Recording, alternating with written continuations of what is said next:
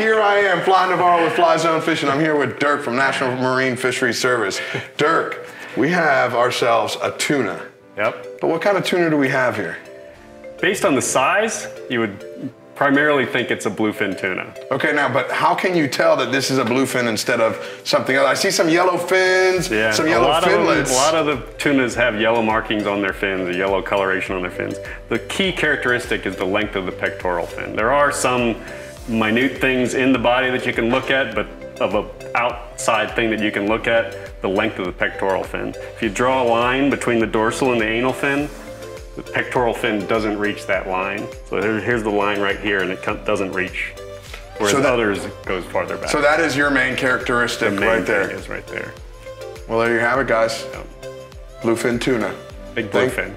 Big bluefin tuna. Thanks for joining us here in the Fly Zone.